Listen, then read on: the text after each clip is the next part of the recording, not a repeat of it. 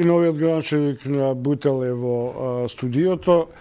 Се мислам дали прво да го зафатам со спортот и со нашиот олимпиец а, и носител на медаља или прво со тоа што многу мина од а, граѓаните во Бутел очекуваат од него. Серава, толку ви е битна веднаш со, не, со неа да почнете? Пред здраво живо, фала ви многу што дојдовте. Граѓаните во Бутел очекуваат и работа од мене, но и нов медал. А, браво. Две работи ги очекува. А, се шалам. А, по однос на Серава, морам да истакнам една работа и добре што имам оваа прилика.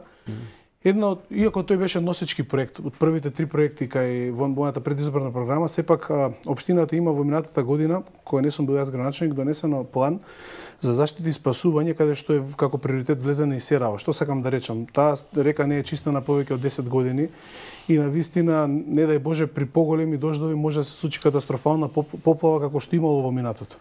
И покрај тоа што Значи дека сте првиот гледачи што го слушате Ангелов дека треба да се исчистат каналите. Да, добро, ако е позитивен став, да, можам да. да слушам било кој да е без разлика дали е тоа Стојанче или било кој друг. А, суштината е пред сеете за некое добро да се направи во смисла да не дојде до, до одредена поплава, но паралелно на тоа и се разубавува потегот за тоа што на вистина не знам дали сте биле во Бутел во последно време станува збор за џунгла моментално како што е серава но како се се чисти на вистина добива веќе конечно убав убав лик. Mm -hmm. За еден ден вчера имавме евидентна разлика.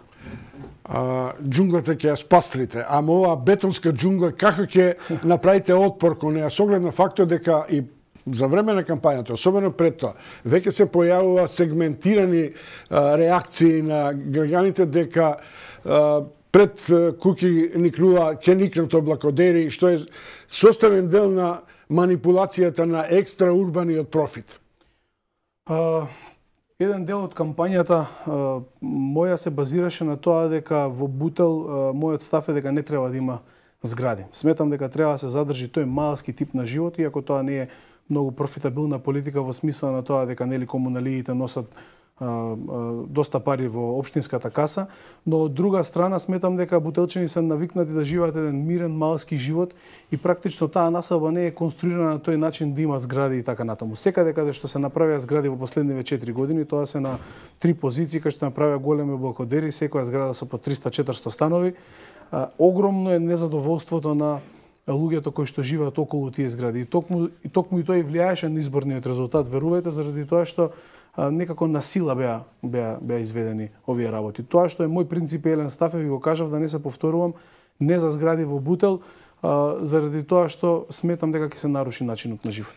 А, со сите градоначалници со кои сум разговарал и што сум прегледал и пред изборите, сите разговарате за урбанизација, архитектура, зеленило и така натаму. Малкумина чув и прочитав од програмите да разговарате за а, економските нови предизвици.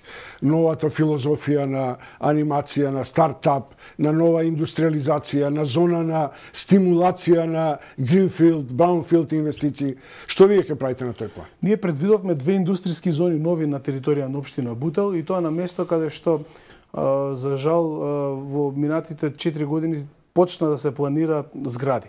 А, во таа смисла колку што забележав јас и во, во општинската администрација, нема соодветен кадар кој што може да занимава со развивање на тие индустријски зони. Ние од претходни имаме, знаете дека Визбегове во Бутел yeah. и Расанник има една нова индустријска зона, но нема доволно квалитетен или добар кадар кој што може да занимава токму со оваа проблематика за да привлекуваме инвеститори и да го развиваме овој процес. Затоа една од фронталните работи кои што се отвори уште во првата недела е да да донесам еден двајца луѓе кои што ќе можат стриктно да се занимаваат со оваа проблематика за да Сакате носиме... да донесете. Зошто не размислувате некого да пратите на една субспецијалистичка има една конекција за да може да видат кои се стандардите? Има една таква опција, може би со еден човек во општината кој што кој што работи, тој кој што е примен во предходниве 4 години, да не ме свати никој погрешно, значи не е без разлика во кое време е примен, кој што гледам квалитет, каде што разговарав, еве два дена разговарам на таа тема, но сепак сметам дека е малце. Сметам дека е малце. Инаку зашто да не? Па, отворени се сите опции, секако обуки и така натаму тука нема дилема. Не подносно ова прашање, подносно било. Гупот ќе го менувате или? Па на некои позиции да, затоа што нели уште не е донесен гупот, имаме простор сега да планираме, фала на Господ во таква една позиција се наоѓаме. Иако според тоа што го гледам, не гледам дека и гупот ќе биде донесен во 2022 како што треба да биде донесен. Мислам дека ќе задоцни барем една година, но на одредени позиции секако дека ќе менуваме. На пример, една позиција кај што се предвиден, кај што е предвидено домување, во мојата програма беше беше парк и ќе цврсто ќе стојам позиција тоа и веќе работиме на тоа. Го спомнавте Визбегово. Визбегово е а, потенцијал кој има развој заради конекциите исто така и со а, Косово, но се чини дека ние од таа клетва патиме, а тоа е што подолго нешто правиме за да а, не се видат благодетите. Тамо има цела една индустријска зона која а, пати заради тоа што нема водовод, се уште нема да. нема инфраструктура. Патот кон Косово се прави 3-4 години, 4-5 километара. Во текот нивната недела имам прв состанок со а, Сдруженијето на, на бизнисмени во таа индустријска зона. Сакам темелно, иако знам за што станува збор, сакам темелно да се запознам со нивните проблеми и верувам дека ќе дадам се од себе за да се сега не секаде, но на, во голем дел од индустријската зона нема инфраструктура и верувам дека тоа не верувам туку мора тоа да се среди за да за да имаме бенефицит. Тука нема нема дилема. Дарко Костовски, до вчерашен пратеник од сега градоначалник на Бутел и посакувам и вам добар успех и реализација на програмата. Како рековте, до 6 саат на работа, од 6 саат во сала.